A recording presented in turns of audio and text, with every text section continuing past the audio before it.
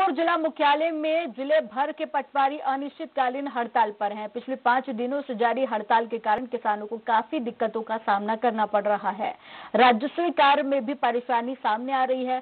भाजपा जिला महामंत्री ओम प्रकाश जायसवाल ने पटवारी संघ के पदाधिकारियों से मुलाकात की।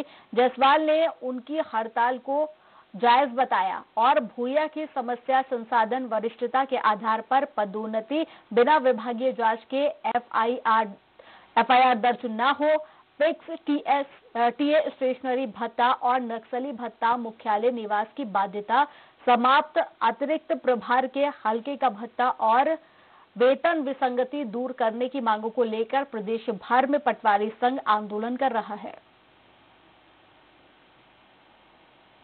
हमको सुधार दिया जाए, लैपटॉप, कंप्यूटर वगैरह, और हम लोग का जो खास जो नौकरी कर चुके हैं उम्रदराज पटवारी हैं उनकी मतलब पदोन्नति की अराइज में जो पटवारी के जो नौ सूत्रीय मांग है उसको तत्काल पूरा करें और पटवारी अपने अपने काम में जाएँ जिससे इस क्षेत्र के इस प्रदेश के किसान का जो त्रुटि सुधार है उसको हो सके।